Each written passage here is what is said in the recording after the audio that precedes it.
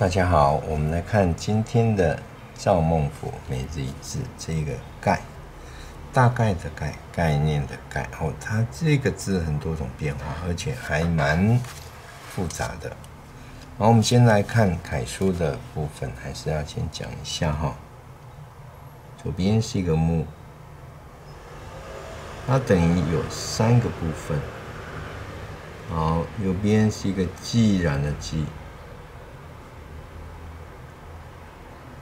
好，这是楷书写法。好，盖字。再来，稍微带一点点流畅，一点点就好了。我左边木就不要写那么重了。好，这个流畅放进来。好，我们这里经常就不写那个弯折了。我蛮常看到直接这样写。大概这样，好，那开始做一点点省略，除了这里省略，连这一点也不要，哦，然后呢，哦，木也做一些省略哈，连贯性加强一点，啊，就是所谓的行书的写法，啊，这里，啊，直接带上来，带笔这行书，然后这里连贯，这样，好，要勾要撇下来都可以。啊，这是行啊，行的写法。那开始带进来草书的写法，好，开始了哈。来看一下，省略更多了。这里注意看，有时候有的会一点，我们直接啊挑这样子。注意看这里，刚刚这边还要绕进去，那草书这里就变成折痕过来啊上去。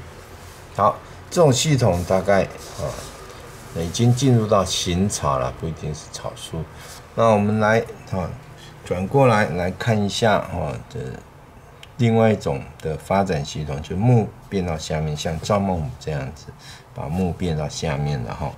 那我们还是从它的前面一点点看，行楷啊会有这样写法。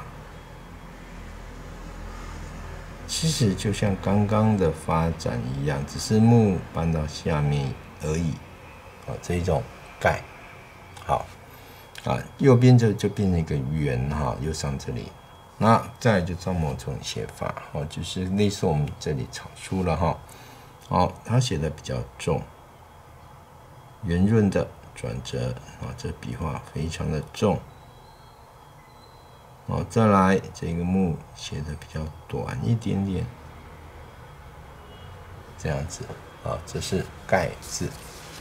好，继续发展。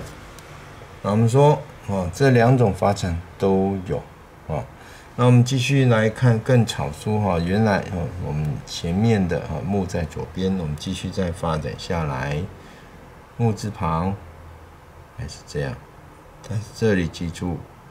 这一个折痕直接过来，哦，这个要特别要注意，哦，也就是说，哦，这一个这里折，啊，变成变成简单这样，连这个钩都不要了，横画过来，然后这边呢就变成啊绕一圈，然后不推上去看啊，大家注意哈，或者好吧，给大家看，应该是比较接近这里，啊啊，但是就这横画也不要了，啊，这绕一圈上去。